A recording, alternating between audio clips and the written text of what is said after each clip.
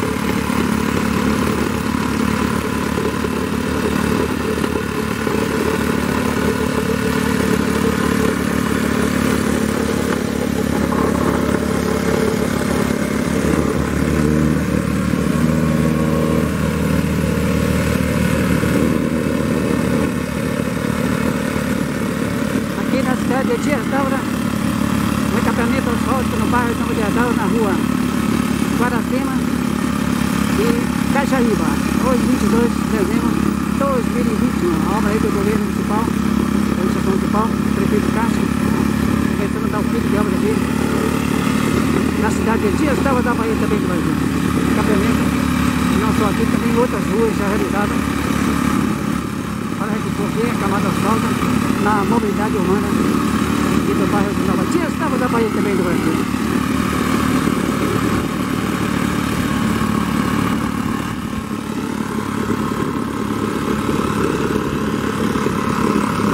Aqui é um ecológico aqui, imaginando a nada d'água da barragem de Santa Helena, aqui no bairro de Nova Tia, estava da Bahia também.